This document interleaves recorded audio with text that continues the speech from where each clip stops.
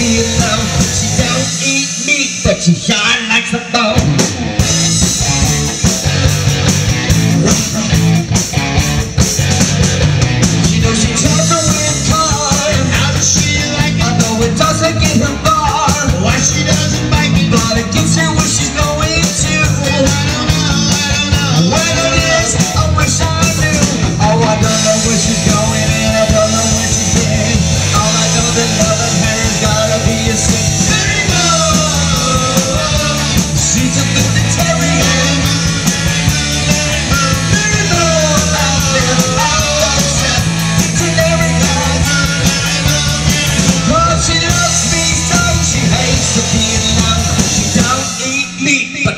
God's above.